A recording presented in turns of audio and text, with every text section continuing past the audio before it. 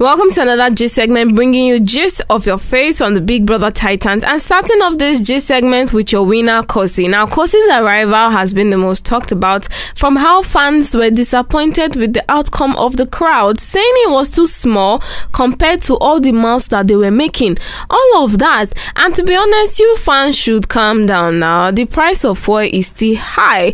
Anyway, she has also answered the burning question of her relationship between herself and Yemi. Uh, uh, not in like a romantic relationship or in any sort of Yeah. friendship, but we're cool.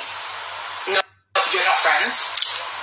No, uh, no, we're not friends. Oh. We're not friends, but we're cool. Um, It's like it's not. There's no bad. no, no, no. We we we we ironed that out.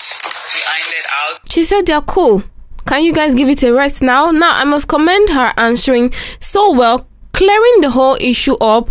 But that's not why I'm here. So recently, Khosi came out with a video saying she has a crush on Liquorose. I met um, Liquorose. Oh God, Mm-mm-mm.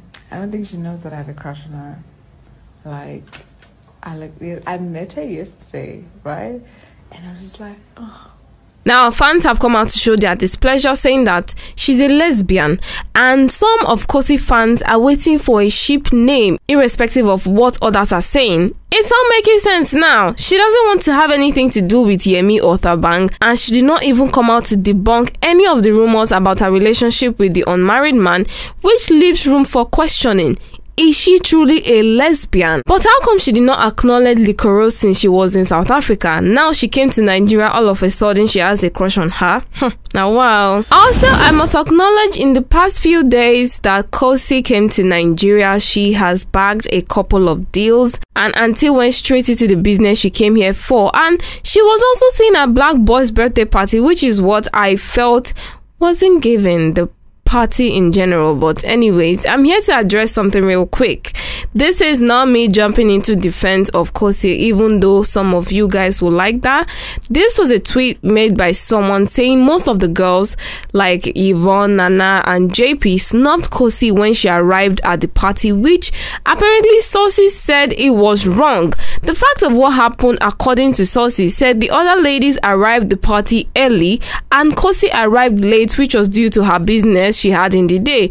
I mean, of course, she'd come in and look for a place to sit down for arriving late. There's no space again, which apparently was not close to any of the babes there, them Nana. So how is that snubbing her? Some fans are just delusional about things, to be honest. Why are they trying to pit these girls against each other? I mean, look at them, all happy and snapping pictures together. Do you guys derive joy from them fighting? Hmm? Hmm. And rounding off this segment, did anyone notice how Blue Aiva was not at the party? Coming from someone who is always everywhere all at once at the same time, you know? Hmm. Well, Miss Blue has boarded a plane back to her country, but there's something just off here, or maybe it's just me. Look at something.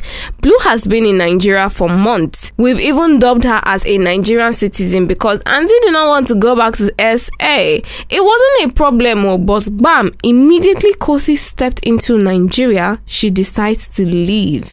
That's suspicious. Well, that's all I have for you on this G segment. Until next time, do not forget to like, share, and subscribe. Thank you.